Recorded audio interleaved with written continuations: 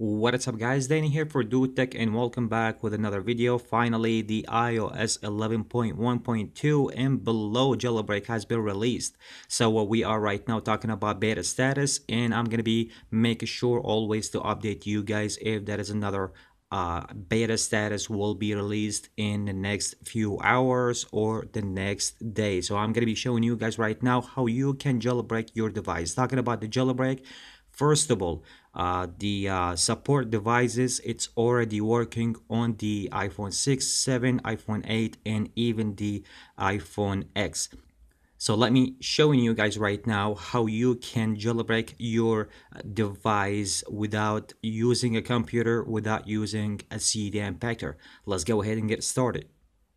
Alright guys, so the link will be in the description down below for you guys. That's going to be taking you to this website here. So you will be wait a little bit.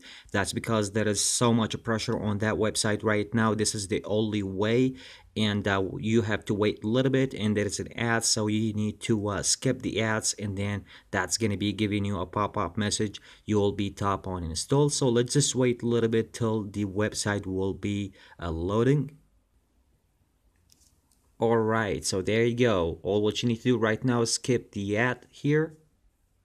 So it's not working. I'm going to be trying to skip the ad one more time. And there you go. As you guys can see right now, you will be wait for the pop-up message here. And this is the, the jailbreak here. All what you need to do right now, tap on the install button here and right now I'm gonna be press my home button here and this is the waiting which is gonna be this is the jailbreak app right there. I'm gonna be giving it a time about like two or three minutes because this is the beta file. So I'm gonna be continue on download the app and then I will be get back to you Okay, so pretty much the download file is going to be take a lot of time. Maybe it's going to be uh, take uh, four to five minutes till it's going to be finished downloading. So all what you need to do after that, just launch the app. If it's not launched, go ahead back to uh, hitting the settings under the settings on the general and profile and device management and just trust that app and uh, go back and launch the app and it will be work right away.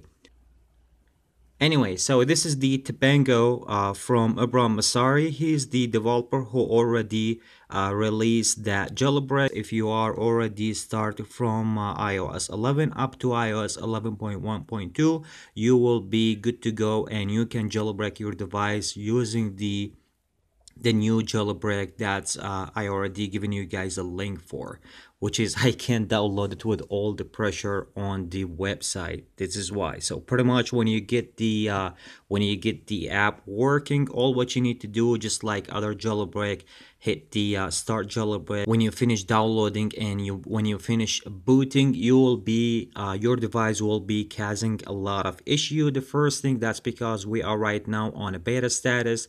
The second thing there is no substrate yet and there is a lot of things. So keep in mind you will be have a boot loop you will be uh, having a uh, booting so much a lot in your device that's because as I told you guys first of all we are still on the beta status the second thing that's because there is no substrate in the Cydia or the jailbreak needs a lot of work. That's it pretty much for today's video. I just want to update you guys a little quick about that and uh, make sure to stick around on the channel to uh, giving you guys more information and more things about the new jailbreak that just has been released. I'll be making sure always to update you guys and that's it for today's video. Thanks for watching. Catch you guys with the next one. Peace